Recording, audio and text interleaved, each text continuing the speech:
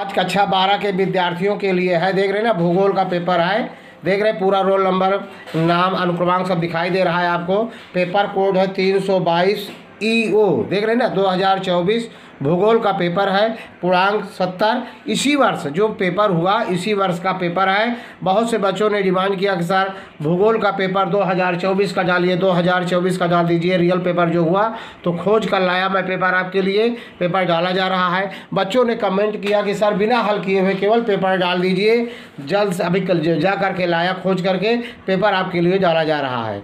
और यदि अभी तक चैनल को सब्सक्राइब न किए हो तो चैनल को सब्सक्राइब कर लीजिए। बेल आइकन की घंटी दीजिए ताकि आने वाला वीडियो आपको सबसे पहले मिले। वीडियो को इतना शेयर करना, इतना शेयर करना कि सर्च रैंकिंग में श्री गणेश अकेडमी पहला स्थान प्राप्त करे। हिंदी मीडियम के ऑल इंडिया के बच्चों के लिए, हिंदी मीडियम के बच्चों के लिए यह चैनल रामबाण है। सभी प्रकार के पेपर आपको अर्धवार्षिक, वार्षिक प्री बोर्ड के पेपर डाले जाते हैं, संपूर्ण हल डाले जाते हैं। यदि आप शेयर करते रहते हैं तो आपको प्रतिवार्ष अर्धवार्षिक, वार्षिक प्री बोर्ड का पेपर, दस दस मॉडल पेपर आपको मिलेंगे, संपूर्ण हल मिलेंगे। पहले से अपलोड कर दिए जाएँगे, आपको किसी प्रकार का दिक्कत नहीं होगा। लेकिन इसके लिए सिर्फ़ आपको अधिक से अधिक शेयर करना है। अपने इष्ट मित्र, सगे संबंधी भाई बहन सभी को चैनल के बारे में बताना है, सब्सक्राइब करवाना है। देख रहे हैं ना, प्रश्न पर आता हूँ, ये निर्देश जो दिया गया है, मैं इसको नहीं पढ़ रहा हूँ। देख रहे पूरा पेज निर्देश से भरा है, पहले हिंदी, फिर इंग्लिश में लिखा गया है। देख रहे ना, यहाँ पर लिखा गया है टर्न ओवर मतलब पेपर पन्ना पलटिए। अब चेंज कर रहे हैं, देखिए क्या है। बिल्कुल स्किप नहीं करेंगे, पूरा देखेंगे। बहुविकल्पी क्वेश्चन है पहला। दिखाई दे रहा है। निम्नलिखित प्रश्नों के सही उत्तर अपनी उत्तर पुस्तिका में लिखिए। बोकारो अवस्थित है। बिहार में, झारखंड में मध्य प्रदेश में, पश्चिम बंगाल में। चार विकल्प है जो सही होंगे, टिक करेंगे। जनसंख्या की अधिकतम वृद्धि दर पाई जाती है अफ्रीका में, उत्तरी अमेरिका में, एशिया में, यूरोप में। तीसरा क्वेश्चन है, शुष्क कृषि में निम्न में से कौन सी फ़सल बोई जाती है? गन्ना, धान, ज्वार, बाजरा, गेहूँ। देख रहे ना? अगला क्वेश्चन है, अगला क्वेश्चन है चौथा। निम्नलिखित में कौन सा पर्यटन नगर है? मथुरा, रायपुर, पंचमढ़ी, रानीगंज। देख रहे ना? अगला है छठा क्वेश्चन पांचवा क्वेश्चन है रानीगंज। डाट डाट, खनन के लिए प्रसिद्ध है। मतलब रानीगंज खनन के लिए किस प्रकार का?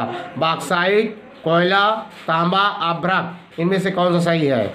छठवा क्वेश्चन है, मास्को अवस्थित है संयुक्त राज्य अमेरिका में, पोलैंड में, रूस में, दक्षिण कोरिया में? सतवा क्वेश्चन है, निम्नलिखित में कौन सी बागाती बागाती रोपण फ़सल नहीं है? कहवा, चाय, गेहूँ, गन्ना।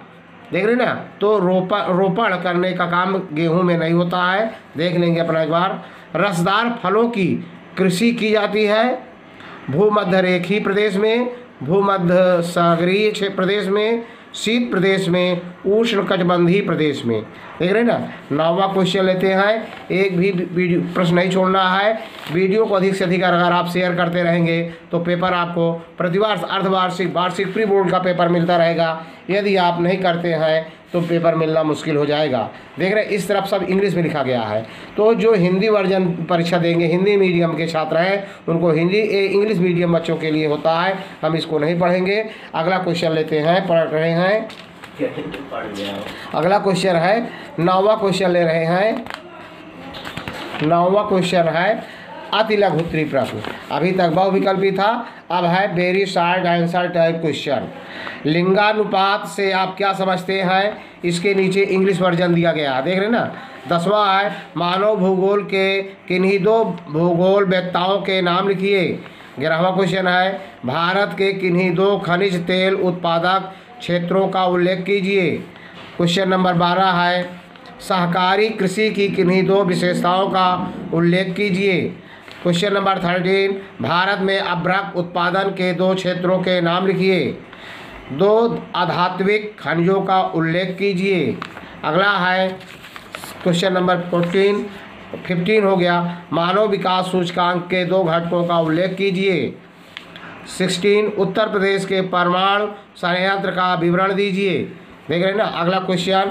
क्वेश्चन अगला देख रहे हैं, क्या है भाई?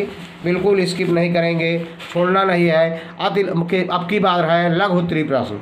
देख ना शार्ट आंसर टाइप क्वेश्चन मानव भूगोल के विषय क्षेत्र पर एक संक्षिप्त टिप्पणी लिखिए। क्वेश्चन नंबर एट्टीन प्राकृतिक पर्यावरण मानव जीवन को कैसे प्रभावित करता है?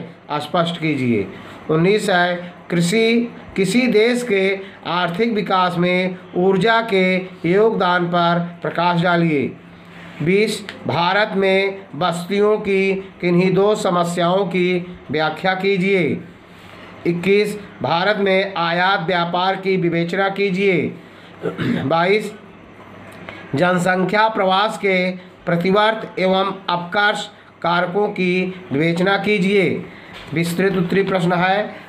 क्वेश्चन नंबर तेईस भारत में भू निम्नीकरण की समस्या का वर्णन कीजिए अथवा द्वितीयक एवं तृतीयक आर्थिक क्रियाकलापों में अंतर स्पष्ट कीजिए। देख रहे हैं ना? बिल्कुल आपको दिखाई दे रहा है। बिल्कुल वीडियो को स्किप नहीं करेंगे। अधिक से अधिक आपको शेयर करना है। शेयर करते रहेंगे तो प्रतिवर्ष आपको पेपर, अर्धवार्षिक, वार्षिक प्री बोर्ड का पेपर दस दस सेट में मिलता रहेगा। चौबीसवा क्वेश्चन है, भारतीय कृषि की समस्याओं की विवेचना कीजिए। अथवा भारत में गन्ने की खेती एवं उत्पादक क्षेत्रों का विवरण दीजिए। चौबीसवा देख रहे हैं, दिखाई दे रहा मानचित्र कार्य। भारत के दिए गए मानचित्र में निम्नलिखित को उपयुक्त चिन्हों द्वारा दर्शाइए और उनके नाम भी लिखिए। दक्षिण भारत की एक प्रमुख नदी। दूसरा, दक्षिण भारत की एक पर्वत श्रेणी। उत्तर प्रदेश की राजधानी नगर, गुजरात का एक प्रमुख समुद्री पत्तन, भारत का एक प्रमुख खनन नगर, केवल दृष्टिबाधित परीक्षार्थियों के लिए प्रश्न संख्या 25 के स्थान पर है। क्या है भाई? दक्षिण भारत की एक प्रमुख नदी का नाम लिखिए। दक्षिण भारत की एक पर्वत श्रेणी का नाम लिखिए, उत्तर प्रदेश का राजधानी नगर का नाम लिखिए, गुजरात के एक प्रमुख समुद्री पत्तन का, बंदरगाह का नाम लिखिए, भारत के एक प्रमुख खनन नगर का नाम लिखिए। देख रहे हैं ना? इसी को इधर आपको दिखाई दे रहा है, इंग्लिश वर्जन में दिया गया है। देख रहे ना? अब क्वेश्चन नंबर ट्वेंटी सिक्स मानचित्रकार का देखिए, प्रश्न है, संसार के दिए गए मानचित्र में उपयुक्त चिन्हों द्वारा निम्नलिखित को दर्शाइए एवं उनके नाम भी लिखिए। देख रहे ना जापान का राजधानी नगर। नंबर दो, दक्षिण अमेरिका का सर्वाधिक जनसंख्या वाला देश। रोपण कृषि का कोई एक प्रमुख क्षेत्र। ग्रेट ब्रिटेन का सबसे बड़ा नगर। यूरोप का सर्वाधिक मानव विकास सूचकांक वाला देश। केवल दृष्टिबाधित परीक्षार्थियों के लिए प्रश्न संख्या 26 के स्थान पर है। देख रहे ना? जापान के राजधानी नगर का नाम लिखिए। दक्षिण अमेरिका के सर्वाधिक जनसंख्या वाले देश का नाम लिखिए। अगला है किसी एक रोपण कृषि के प्रमुख क्षेत्र का नाम लिखिए। ग्रेट ब्रिटेन के सबसे बड़े नगर का नाम लिखिए। यूरोप के सर्वाधिक मानव विकास सूचकांक वाले देश का नाम लिखिए। देख रहे ना?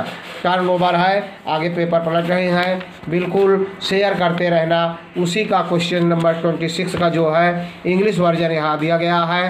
देख रहे ना? आपको दिखाई दे रहा है। यदि आपको वीडियो अच्छा लगा हो तो लाइक करना सब्सक्राइब करना शेयर करना। जय हिंद, जय भारत।